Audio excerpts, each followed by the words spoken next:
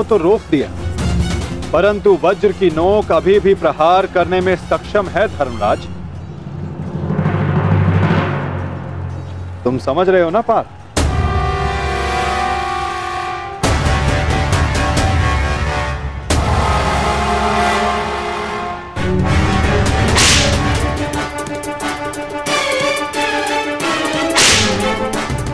ये क्या कर रहा है? तुम्हारी मूर्खता का लाभ उठा रहा है, दुर्योधन। अर्जुन वज्रव्यूह को त्याग, आगे बढ़ रहा है। हमने उनके वज्रव्यूह को तो निष्क्रिय कर दिया है, दुर्योधन। परंतु अर्जुन ये जानता है कि तुम्हारे रथ पर लगी पताका यदि उसके हाथ लगी तो यह युद्ध समाप्त हो जाएगा। इसलिए उसका लक्ष्य केवल तुम हो। वो सब छोड़िए पितामह। अर्जुन को रोकने का उपाय सोचिए। इसका उपाय है मेरे पास। और वो देखो। गंगा पुत्र तुम्हारी ओर तुम्हें रोकने आ रहे हैं। उनसे द्वंद्व करके हमारा समय व्यर्थ होगा। और सूर्यास्त्र होने में बस कुछ ही समय शेष है पार।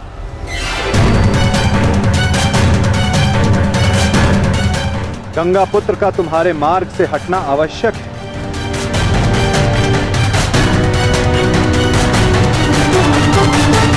संकेत भेजो पार, कि कोई और इन्हें रोकने आ सके।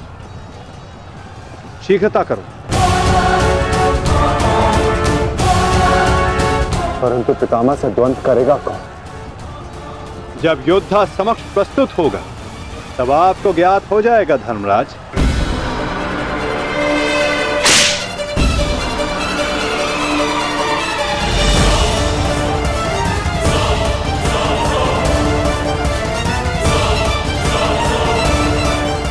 यह अर्जुन नहीं तो कौन है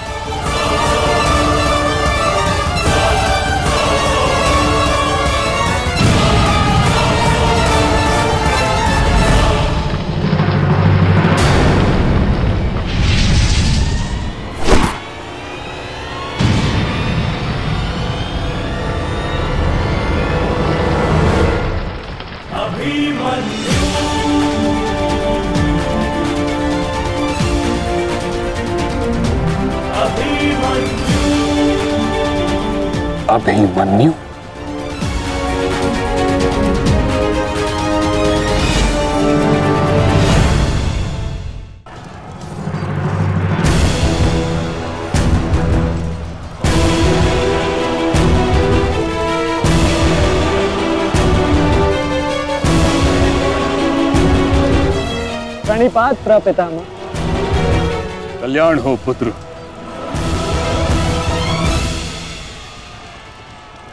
किंतु क्या अपने ही प्रपितामह का मार्ग रोकना उचित है? मैं तो केवल अपने धर्म का पालन कर रहा हूँ प्रपितामह। वही कर रहा हूँ तो मेरे पिता ने अपने पितामह से सीखा और जो मुझे सिखाए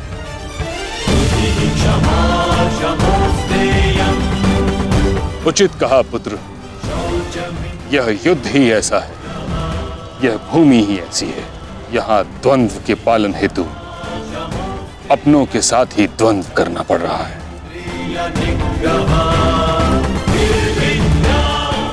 मुझे तुम पर गर्व है कि तुम परम निष्ठा और साहस से अपने कर्तव्य का पालन कर रहे हो।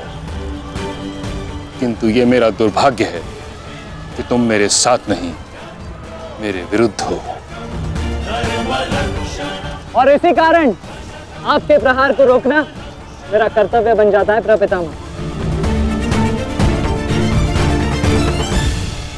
पुत्री उत्तरा, मैं तुम्हें वचन देता हूँ कि जब तक रणभूमि में ये गंगा पुत्र खड़ा रहेगा, तब तक तुम्हारा सौभाग्य और तुम्हारा सुहाग दोनों पर कोई आँच नहीं आएगी।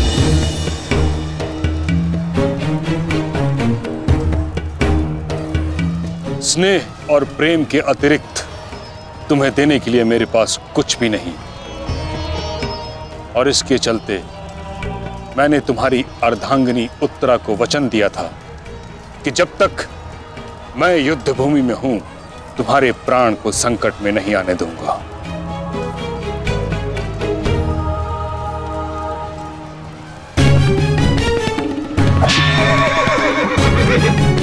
ये क्या कह रहे हैं पितामह?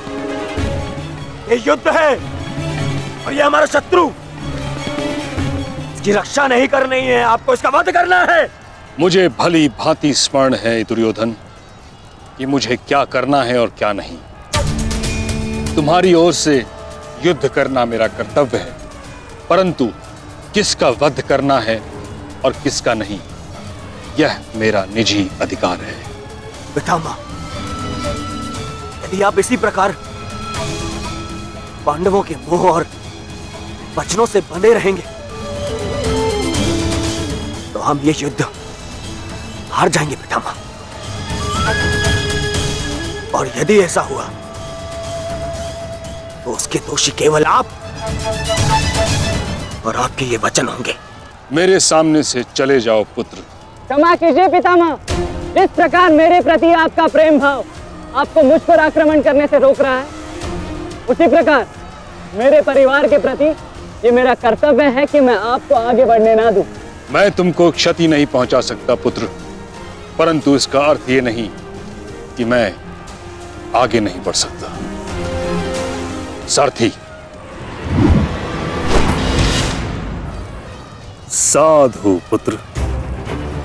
किंतु अगली बार मत चूकना। प्रपितामह या तो द्वंद कीजिए। या समर्पण कीजिए।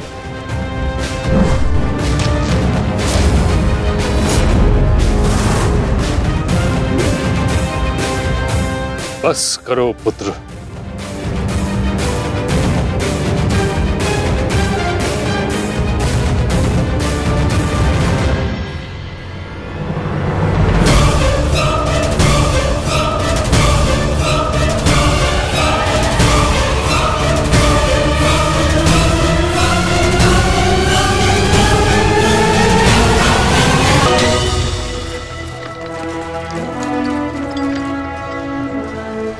गुरुदेव, युद्ध से पूर्व एक शिष्य के लिए उसके गुरु का आशीर्वाद लेना अनिवार्य है।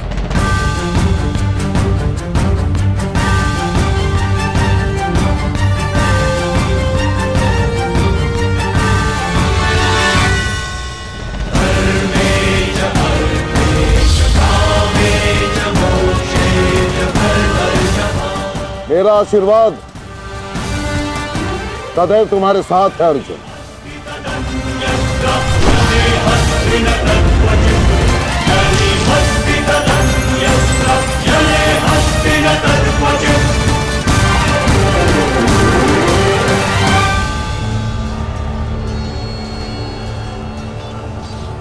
कभी अनुमान नहीं लगाया था गुरुदेव, जिससे युद्ध कला और धनुर्विद्या सीखी। एक दिन उसी के विरुद्ध इसका उपयोग करना पड़ेगा। तुम केवल अपने कर्तव्य का पालन करो, अर्जुन। ये युद्धशाला नहीं, ये समस्त युद्ध भूमि है। और यहाँ का हर एक विपक्षी, केवल और केवल तुम्हारा शत्रु है, अर्जुन। सावधान, अर्जुन।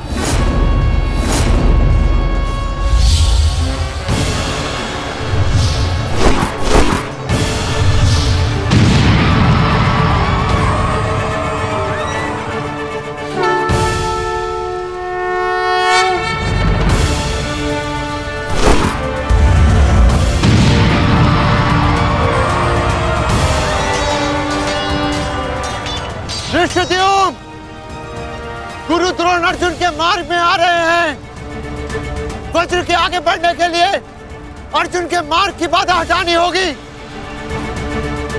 जाओ जाके अर्जुन की सहायता करो।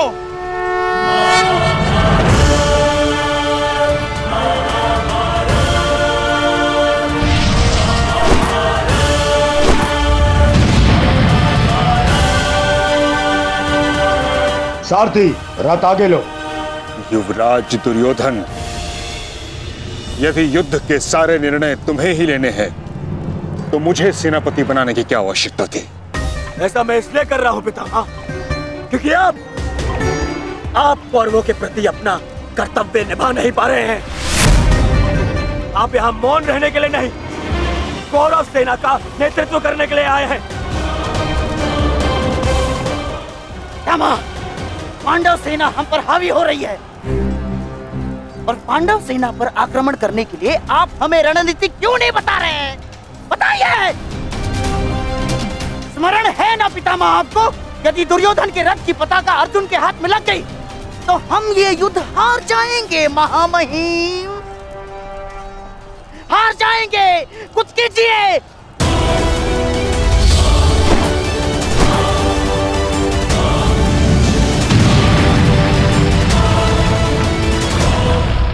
युवराज को मैंने ऐसे व्यर्थ वचन लेने के लिए कदापि नहीं कहा था।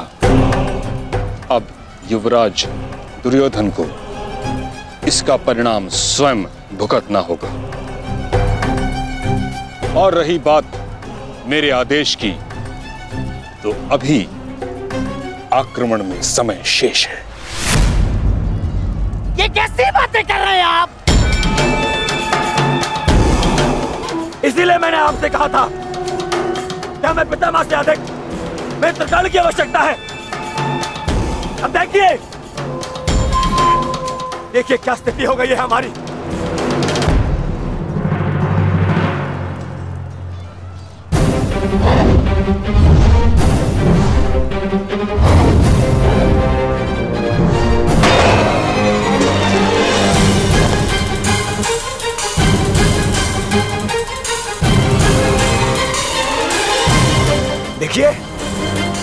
कैसे मौन खड़े ऐसे चलता रहा। ये तो हम शीघ्र ही हार जाएँगे।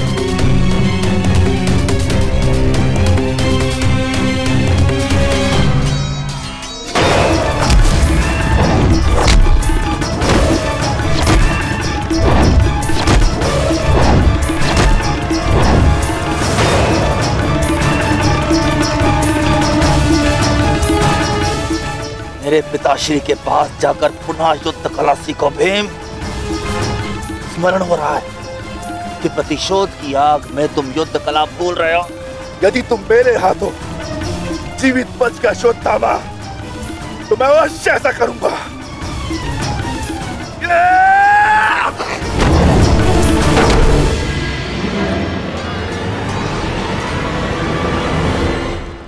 रुद्रोण को यहाँ से मैं संभालता हूँ अर्जुन।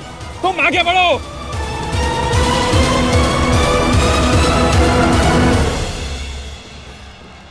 आगे बढ़ने का समय आ गया है पार्थ।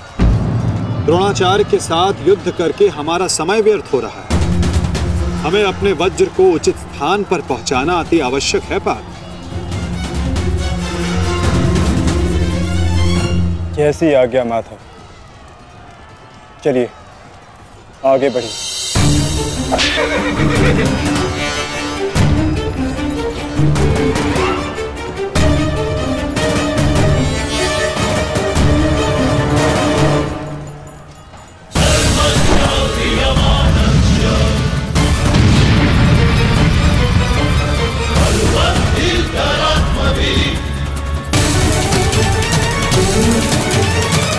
मेरे होने वाले सम्राट शत्रु का वज्र आगे बढ़ रहा है। यदि हमने कुछ नहीं किया तो हमारे लिए समस्या उत्पन्न हो सकती है।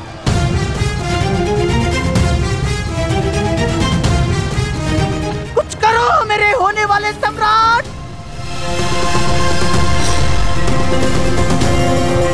काश भी मेरा मित्र मेरे साथ होता। मुझे तुम्हारी आवश्यकता है, मित्र। आवश्यकता है तुम्हारी।